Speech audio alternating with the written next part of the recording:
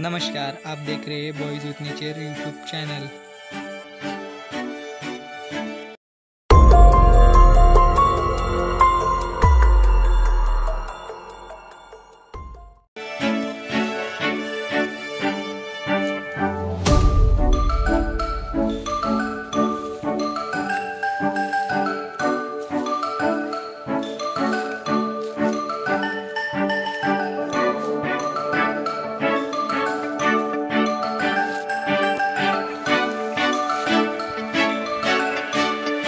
आज हमने ये एपिस्लोरिया मधुमक्खी का छत्ता निकाला है।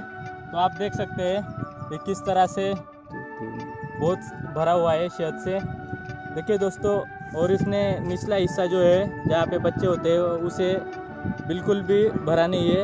ये ज़्यादा से ज़्यादा पाँच छः दिन का होगा।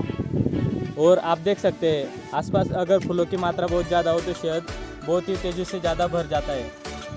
तो आप देख सकते हैं इसने इसके अंदर पूरे सेल्स से जो एकदम थोड़ा थोड़ा बाकी है भरने का।